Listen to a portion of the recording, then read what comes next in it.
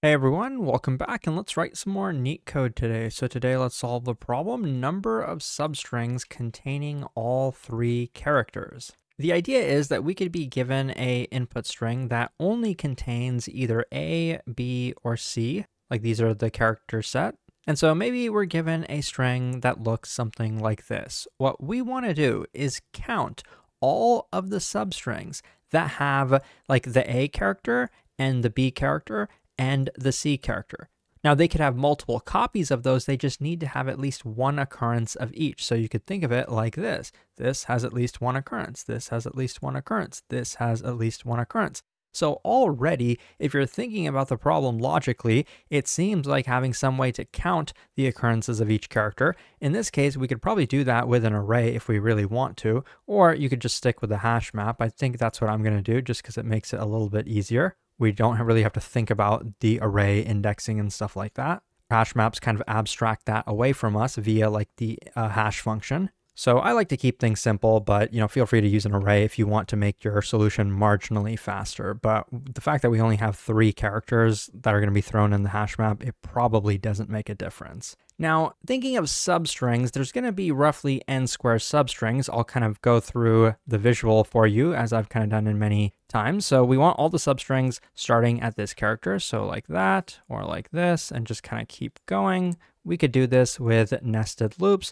And so after we do that, we want to do the same thing with the next character. So something like that. And we could keep going. Obviously, the drawing is going to get pretty massive if I do the entire thing but I encourage you to draw things out yourself if you don't quite understand what I'm talking about.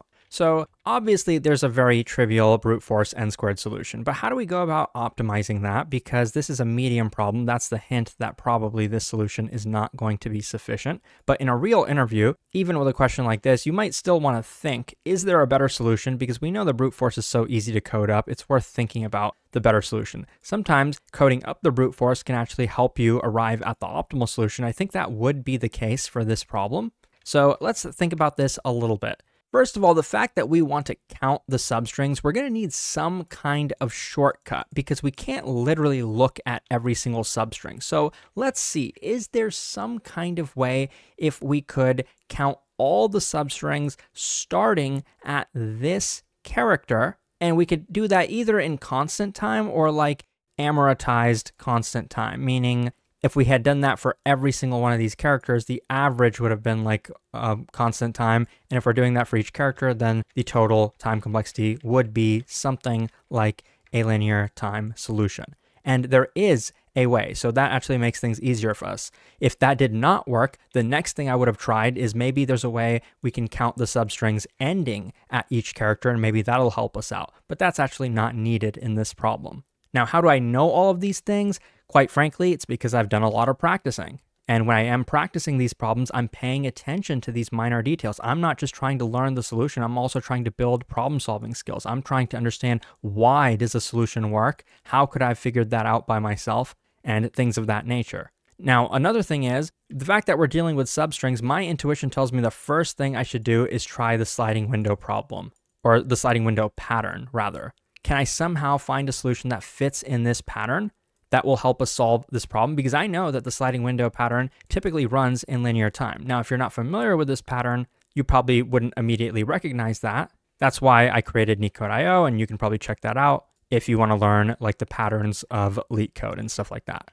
This is also covered in, I think, one of the courses. But, anyways, now I'm thinking along the lines of that pattern. I'm thinking, okay, starting from here, what am I going to do? Okay, I'm going to keep expanding my window because the main thing I'm looking for is at least one occurrence of A, B, and C. So I'm probably going to use a hash map to count the characters in my window currently. So I'm going to expand. I have one A. Okay, now I have one B. I'm going to keep expanding. Okay, now I have a C. That's good. So in my hash map, I'm not going to draw it all out, but I'm going to be keeping track of the counts.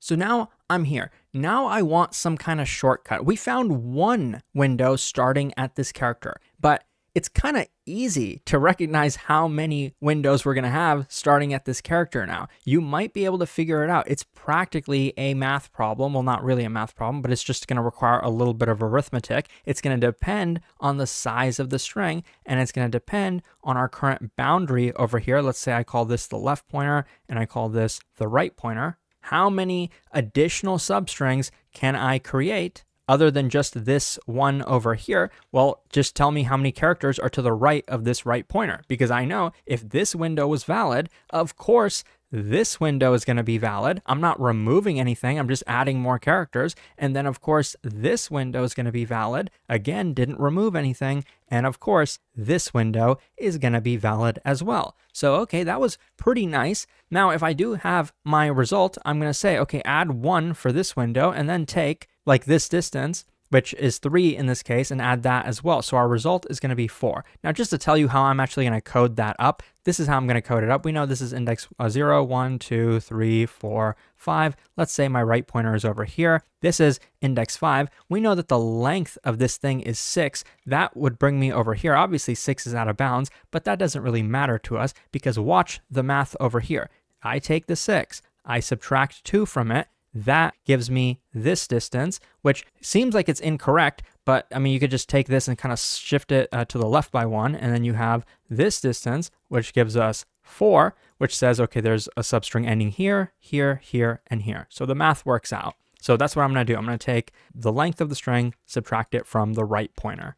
Okay, so far so good. But now what? We didn't have to go through the entire thing to figure out how many substrings there were starting from here. But now, how do we figure out how many substrings are starting from B? Well, let's just shrink our window until our current window is no longer valid. So right now we only have to do one thing. We only have to uh, shift the left pointer by one because then we will end up over here and then we will have removed the A and then we'll see that the length of the hash map is only two. So we don't have all three characters in there. So, okay, now we can continue to expand. Now, there was one thing that this example actually misses, and that's what I'm going to cover in just a second, but just to kind of show you the rest of this. So now we increase the window.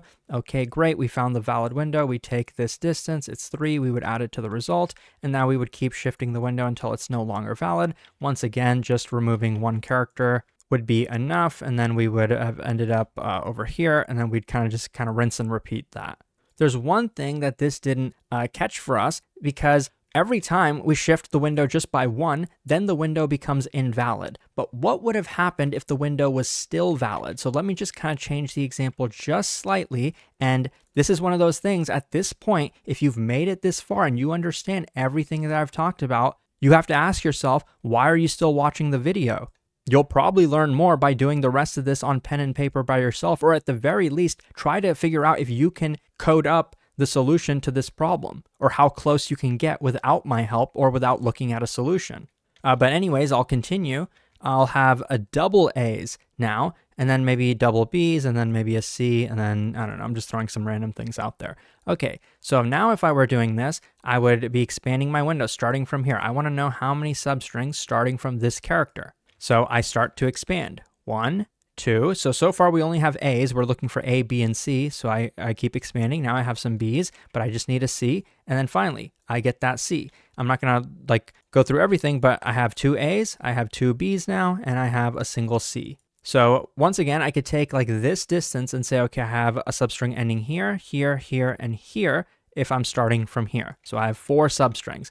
Okay, now I want to shift the window. So I shift the left pointer. Now this is my window. And so what I could do now is keep shifting the window until it's no longer valid. And right now it is still valid. I still have an A, so then I could shift it one more time and then I'd be over here. Okay, that's great. Now I'm gonna start expanding from here because I wanna count how many substrings starting from here we have that contain A, B, and C. But do you see the issue? I forgot to count how many substrings starting from here there were.